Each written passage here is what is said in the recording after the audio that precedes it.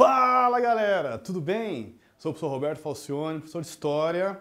Sejam todos bem-vindos. Vamos fazer uma duplinha de aulas. Nosso tema é Revoluções Inglesas. Bom estudo para todos nós. Embarque nessa, vamos junto. Primeiro slide para vocês aqui. Primeiro, contexto pré-revolucionário. Vamos entender então o, a palavra, inclusive, revolução já significa em si uma grande transformação. Então, nós vamos entender uma grande transformação na Inglaterra, né, revoluções inglesas. São duas aulas, vamos fazer uma divisão do conteúdo. O contexto pré-revolucionário, vamos entender os motivos que levaram então essa grande transformação. A dinastia Stuart, né, a que vai estar no poder, a, toda a construção né, de uma monarquia absolutista.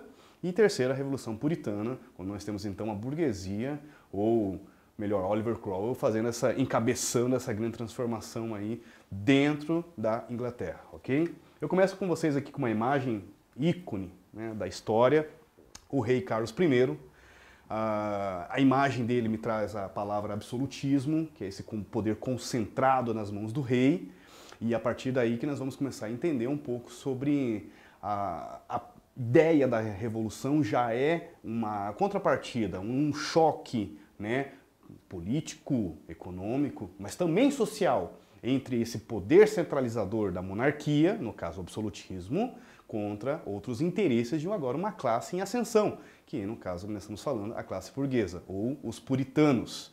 Eu vou destrinchar também essa palavra puritana, que tem às vezes um pouco mais viés religioso, mas eles também saíram ali da linha dos presbiterianos, que é considerado aqui no Brasil, são chamados de calvinistas na Suíça, e na Inglaterra eles acabaram saindo dessa linha, são chamados de puritanos. Para os Estados Unidos eles também foram para lá, os puritanos.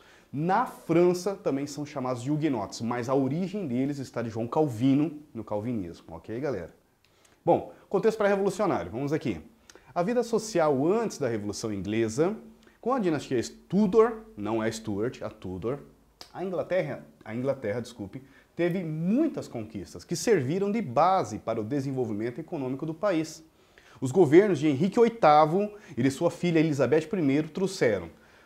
Fazer um rápido panorama para vocês aqui. Henrique VIII é aquele famoso rei né, que vai romper com a Igreja Católica, instituindo uma, uma, nova, uma nova religião, o anglicanismo. Não por acaso, até hoje na Inglaterra, quase mais de 90% da população é considerada anglicana ah, entra naquela esteira ali das, das religiões protestantes, do protestante, da reforma protestante do século XVI, e a sua filha, Rainha Elizabeth, né, ela continua a proposta é, do, de fortalecer o anglicanismo, a religião, mas principalmente a política monárquica, que estava inclusive em, em situações de disputas, mas a, a Rainha Elizabeth vai criar uma, um momento de estabilidade, fortalecendo o momento comercial marítimo, uma grande frota marítima. Então nós podemos colocar a famosa frase, a Inglaterra, a rainha dos mares, a origem, quem semeou essa ideia de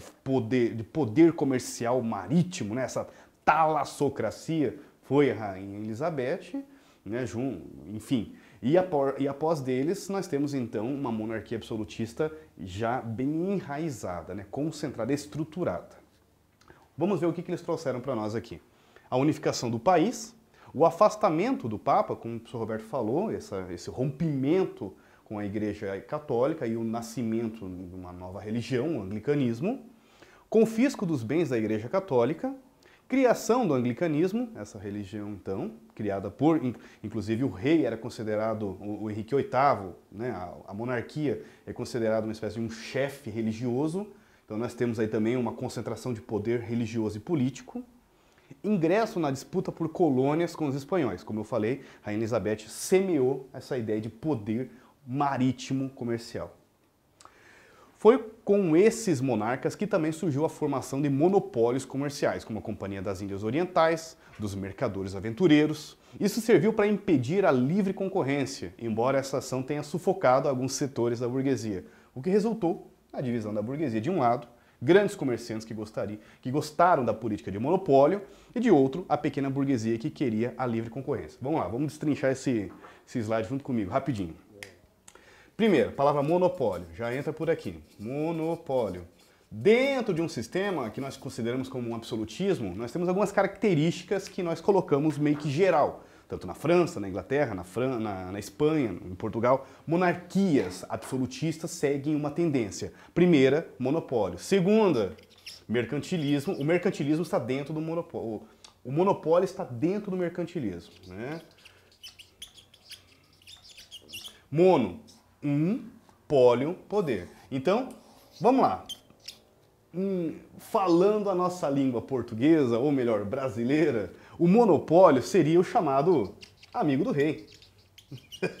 Pronto, resolvido essa palavra tanto difícil, né, professor?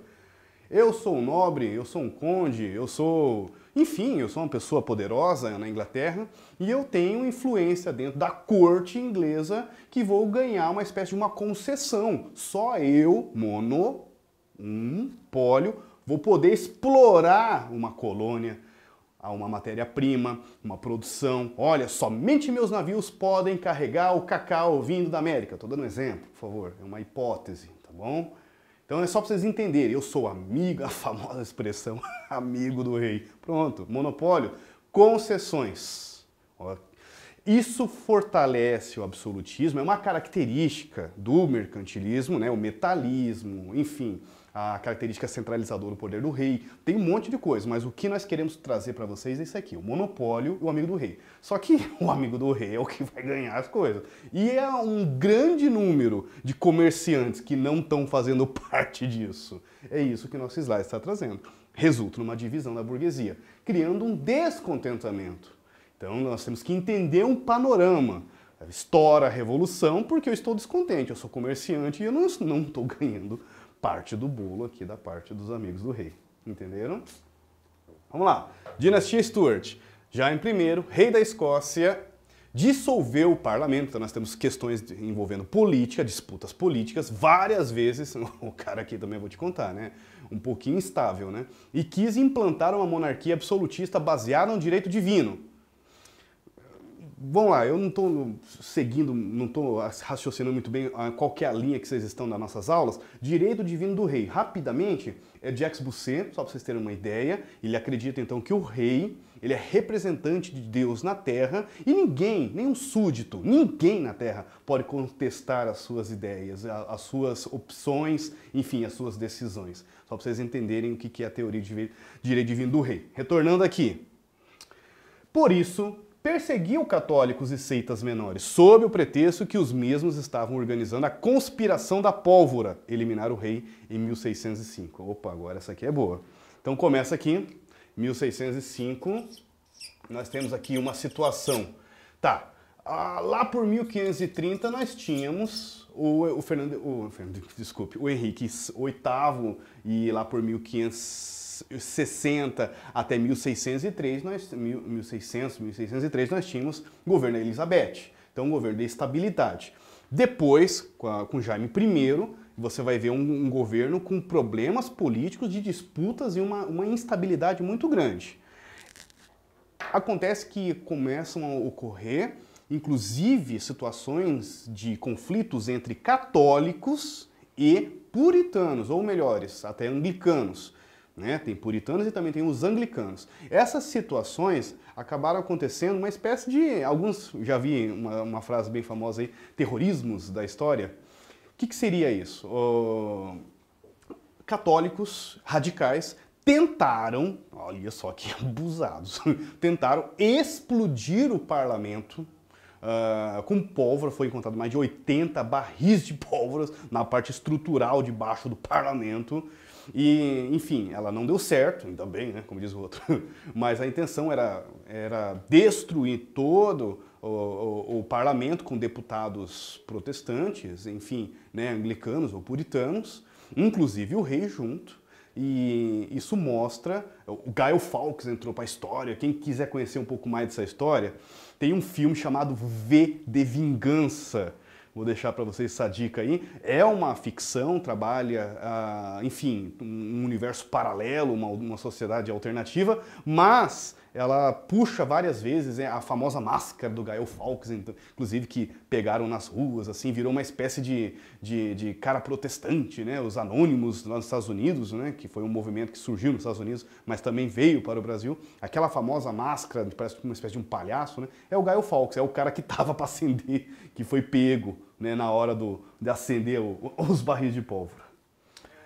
A conspiração da pólvora, também chamada traição da pólvora, foi uma tentativa de assassinato, como o Roberto explicou. Aqui embaixo, o plano era explodir com 30, ah, eu falei 80, né? Desculpe. 36 barris de pólvora armazenados no porão do palácio de Westminster, a Câmara dos Lords, durante a cerimônia de abertura do parlamento em 5 de novembro de 1605. Gael Fawkes, que o Roberto explicou, da máscara, era o responsável por guardar, guardar e acender os barris de pólvora que seriam utilizados para explodir o parlamento durante a sessão era um soldado católico radical inglês.